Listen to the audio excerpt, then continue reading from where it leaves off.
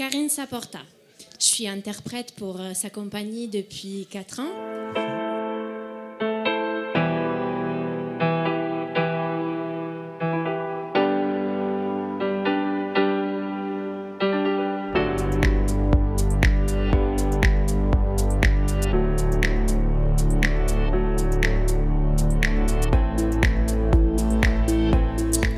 Et je trouve que le travail des chorégraphes aujourd'hui, c'est très difficile parce qu'il faut toujours se rénover, toujours euh, penser à quelque chose qui n'a pas été vous fait. en prie, Théodora, encore, s'il vous plaît. Merci beaucoup.